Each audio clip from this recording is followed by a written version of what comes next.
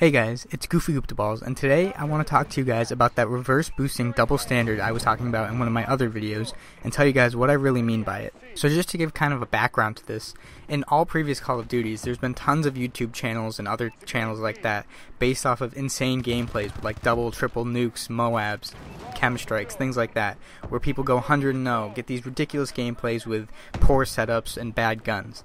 And I mean, if we're going to be honest about it, most of those gameplays were definitely gotten against players far lower skill level than the players who were getting the gameplay. Maybe there were one or two really skilled kids on the other team, but the person who gets the gameplay just totally destroys all the bad players on that team, and that's how gameplays like that were achieved in those previous Call of Duty games. And I mean, this makes sense when you think about it. If you take a really highly skilled player and have them play against a bunch of average skilled players, they're going to get these insane gameplays double, triple MOABs, nukes, chem strikes, 100 no gameplays because they're a lot better than these kids, so they'll be able to absolutely demolish them when playing Call of Duty. But now that skill based matchmaking has been put into place in Advanced Warfare, and a lot more focus has been put on the skill of the players in your matchmaking, there's been a huge shift in the system and what people expect of other YouTubers. The issue is that people still want to see these ridiculous double, triple DNA bombs or 100 no gameplays, but at the same time, they also don't want to see people get these gameplays through reverse boosting, and that's the double standard I want to talk about. So let's say you go on someone's channel like the Green Goblin HD. If you guys don't know who he is, he's someone who's run his channel off of getting insane gameplays for all the past Call of Duties. And if you go on any of his DNA bombs and look in the comments, you can see so many people hating on him, like, oh, you got this through reverse boosting, you have no skill, da da da da da, stuff like that. So there you see people who don't want to see games achieved through reverse boosting. But then if you go on any other video talking about skill based matchmaking, you'll see a bunch of people hating on skill based matchmaking, saying it shouldn't be in the game. So that's a double standard. People don't want skill based matchmaking because they want to see these insane gameplays, but then at the same time, they don't want to see these insane gameplays achieved through reverse boosting because people feel like that's cheating just knowingly going into a lobby knowing you're playing noobs because you lowered your stats and saying that oh look at this i got this insane gameplay when really all you did was just lower your stats so you could play against these noobs and make it a lot easier on yourself to get a gameplay like this. And so i want to get a little more in depth about this and there's two main reasons behind why there's these conflicting ideas in the community and i'm going to talk about those two ideas. So i think the first issue that we have here is that in all previous call of duties when people got these gameplays and put them up on YouTube, everyone just looked at the gameplays and went, wow, that's an awesome gameplay. They didn't really think about how that person was probably playing a bunch of kids who were not very good at the game, or a bunch of kids who were far below that person's skill level, which enabled them to get this ridiculous gameplay. And you know, in all those other Call of Duty games, when people would hop on and try to go for you know awesome games and you know have a lot of fun by just destroying the other team, they would always pray you know to get into a really bad lobby of kids who were really bad, and that's just that was the goal. You wanted to get into a lobby like that because then you'd be able to destroy them. But now with skill-based matchmaking in Advanced Warfare, all of a sudden people are totally against that it seems that you know in Advanced Warfare you can go in reverse boost and definitely get it, yourself into a game of noobs, but people are really really against that. I mean, in all other Call of Duties, you wanted to get into a lobby with noobs so you could get those kind of gameplays, and it was okay back then because either people didn't care back then or people just didn't realize that you were playing a bunch of noobs. But now, all of a sudden, when you try to get into a lobby of noobs, it becomes a problem. But in all honesty, what's really the difference here? If I go onto Modern Warfare 3, hop into a lobby, and play a bunch of bad kids, versus if I go onto Advanced Warfare, reverse boost, and play a bunch of bad kids knowingly, I mean, is that the only difference that I know in Advanced Warfare that I'm kind of, you know, getting around the system to get into these bad lobbies versus Modern Warfare 3, where I'm just randomly put into them? Is that really the only difference? Like, take this gameplay for example. I go, I think, 57 and 11 in this gameplay with a 26 kill streak, but I didn't get this through reverse boosting. This is on my main account.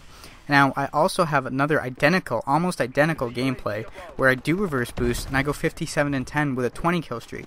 So these gameplays are very similar, but honestly, what's the difference between them? One was achieved through reverse boosting and one was not achieved through reverse boosting. I mean, you can argue that the one that was achieved not through reverse boosting was harder to get because I was playing people closer to my skill level, but I mean, I'll show you the scoreboard right here, and as you can see, a lot of the kids on the other team aren't my skill level because look at their levels. They're just, a couple are not prestige, a couple are first prestiges, and they're just not probably not the same skill level as me. And yeah, I'm sure that they're better than some of those kids I play through reverse boosting. But then again, what's the difference? These kids are lower level, lower skill level than me. I mean, but honestly, what's the difference? I still haven't been able to find anyone that's been able to answer that question for me. If that's the only difference, then that doesn't really seem like that big a deal. Because in Modern Warfare 3, you always wanted to get into a lobby of noobs, you just, there was no way for you to do it. With Advanced Warfare, there definitely is a way because skill based matchmaking and reverse boosting and all that. So, regardless of whatever you want to call it, there's definitely some sort of issue here. I mean, it's either A, that people didn't really realize that you were playing noobs in previous Call of Duties, or B, that reverse boosting is now considered cheating because it helps you get into lobbies of noobs, even though in all previous Call of Duties that's what you always wanted to do anyways. So that's just one of the issues there, and it, it really just comes down to that the people in the community aren't really being clear as to what they think is wrong and why they think it's wrong. So if you guys have any comments about that, just leave it down below. Or if you want to answer that question as to what you think is different between playing noobs in older games versus this game, again, leave a comment down below because I'm really curious to hear what you guys have to say, and if you can offer any clarity on the subject, that would be awesome. Now, the other issue that I think is at play here is that most of the people watching these YouTube videos with these gameplays honestly don't even care or don't even know about reverse boosting in Advanced Warfare. Let's look at an example here just so I can give you guys some evidence about this.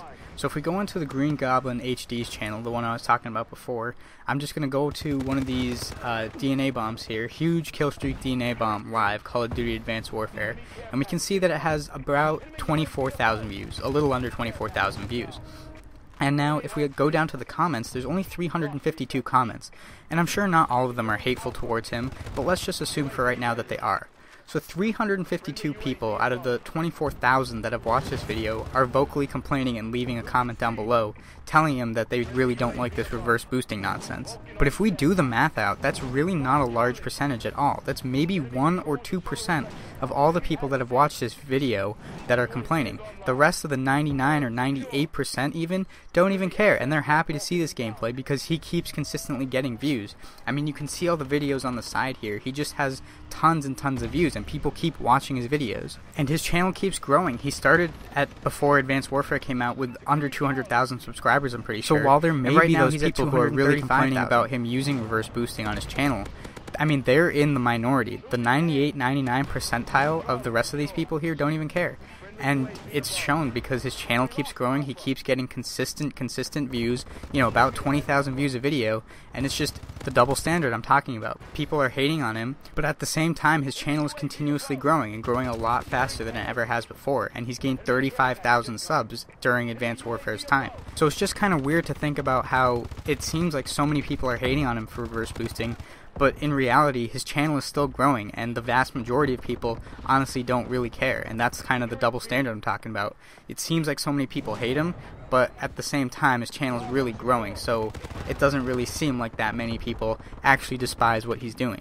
And yeah, maybe some of you call him a bad YouTuber because he doesn't listen to all of his fans all the time, he only listens to most of them, but look at skill based matchmaking, for example. It clearly only benefits the unskilled players of this game because A, it helps noobs like play against other noobs and thus raise their stats and KD and they will play longer.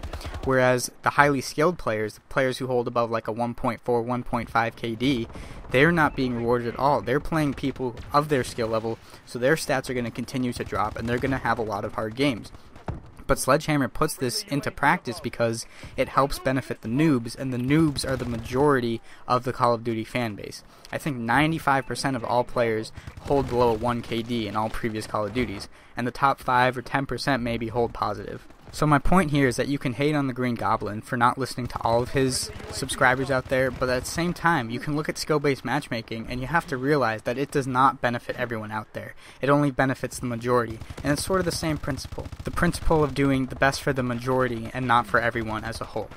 So yeah, that's what I got for you guys today. Just a couple issues I wanted to talk about with this reverse boosting double standard, and a couple reasons why I think it's in the community and why it's such a big problem. I really hope you guys enjoyed this video, and if you did, I'd really love it if you could hit that like button for me, or leave a comment on this video letting me know what you think. And if you guys are new around here, hit that subscribe button for me, because I got a bunch of new great videos like this coming out soon.